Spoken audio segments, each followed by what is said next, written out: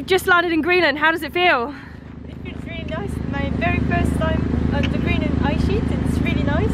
It's a bit cold but not too cold yet. I think it's going to get colder after. But it's really nice, a very sunny day and really really nice and excited to do some data collection.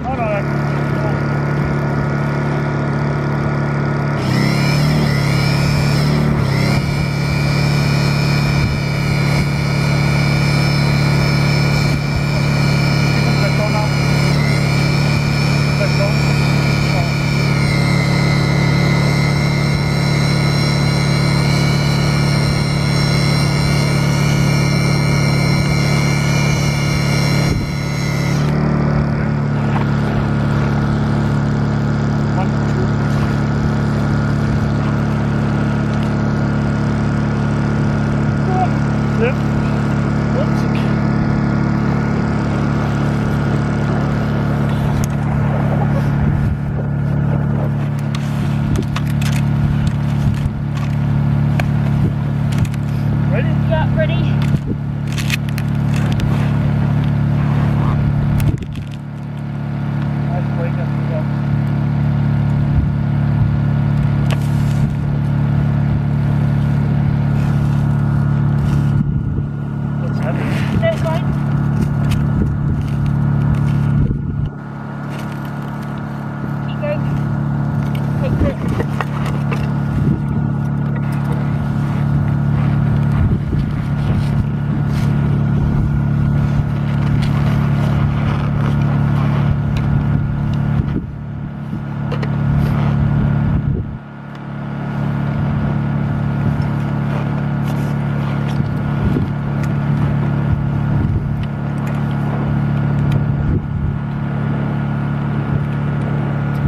Is it a good one?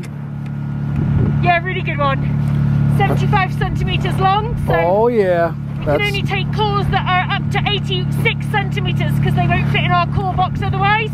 So this is a good length. right on. Good to hear. And Back in the hole it goes.